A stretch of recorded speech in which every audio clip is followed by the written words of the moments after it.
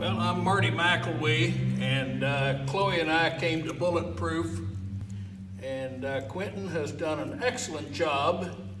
I had problems with her getting into the car, loading, and that sort of thing. She just wouldn't do it. And he got that done in about two days, which my wife and I were both amazed at that. So I would highly recommend Bulletproof. They've done a good job. Everything that I've asked, they've Quentin has come up with. And uh, very, very happy.